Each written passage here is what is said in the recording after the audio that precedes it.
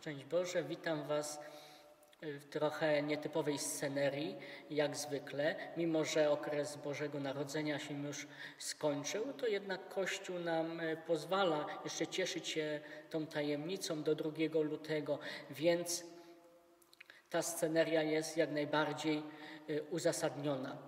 Ponieważ trwając jeszcze w tej radości bożonarodzeniowej, chcę pochylić się z Wami nad poematem świętego Jana od Krzyża o Trójcy Przenajświętszej, ponieważ tam ukazuje on między innymi Boga, Chrystusa jako miłość, co jest wyrazem tej miłości. Oczywiście, jak mówi Pismo Święte, Bóg jest miłością i z tej miłości rodzi On w wieczności swojego Syna, bo miłość Egoizm jest zaprzeczeniem miłości. Ona chce się dzielić, chce się dawać, więc pragnie, aby to szczęście, którym on się cieszył, również jego syn y, zakosztował.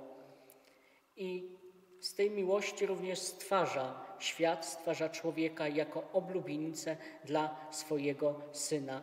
I obiecuje, tak jak jest w tym poemacie, że ci, którzy będą kochać Syna, próbować Go kochać tak, jak On, zakosztują tej samej radości. On zleje na nich to życie.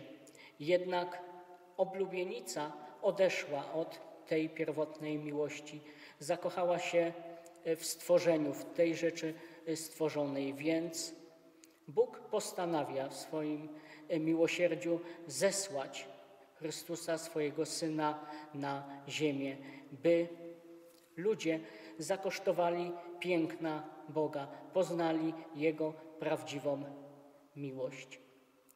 Tutaj Jan od Krzyża plasuje się między tymi teologami, którzy twierdzą, że mimo, że nie byłoby grzechu, to również Bóg pragnąłby dokonać dzieła zbawienia. Zbawienie byłoby konieczne, ponieważ przepaść, jaka nas dzieliła od Boga, była niewyobrażalna. Ona jeszcze pogłębiła się poprzez grzech. Więc Chrystus, chcąc nam ukazać tę miłość, przyszedł na ziemię, przyjął postać ludzką, aby nas zbawić.